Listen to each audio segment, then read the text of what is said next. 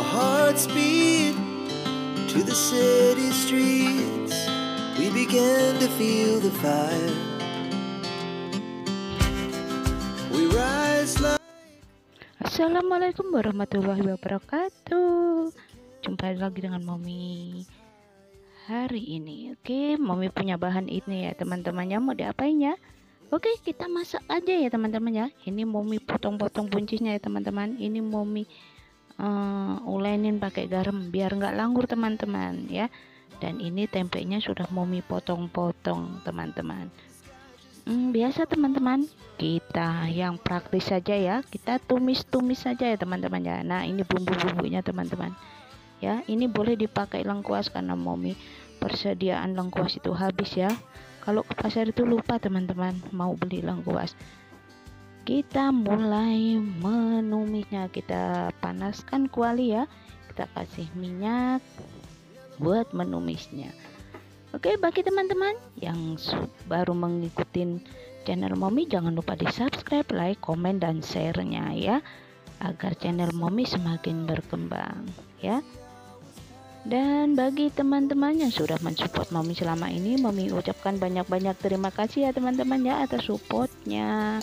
Jangan bosan-bosan mengikuti mom kegiatan Momi ya. Nah, kita mulai menumis teman-teman. Ini adalah bawang putih. Kita masukkan bawang merah.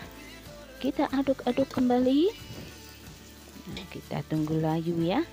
Nah baru kita masukkan yang lainnya. Itu ya teman-teman ya Oh iya bagaimana kabar teman-teman semua?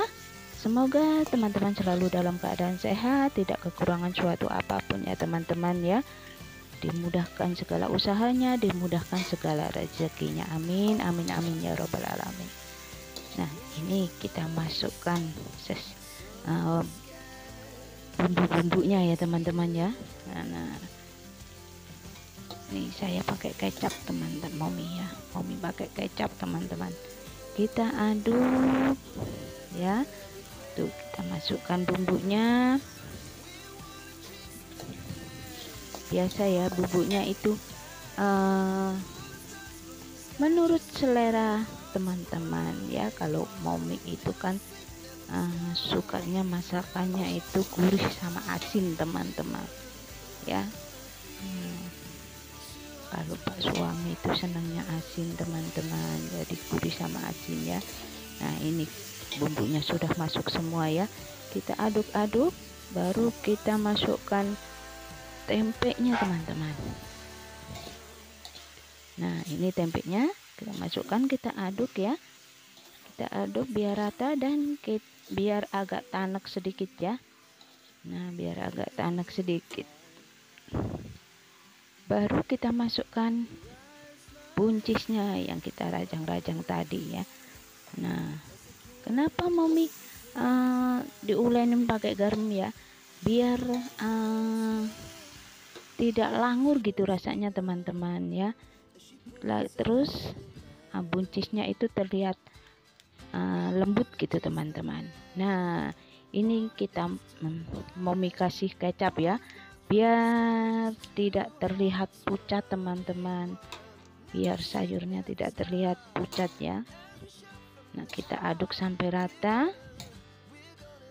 Kita tunggu sampai matang teman-teman. Nah ini ini sepertinya sudah matang teman-teman.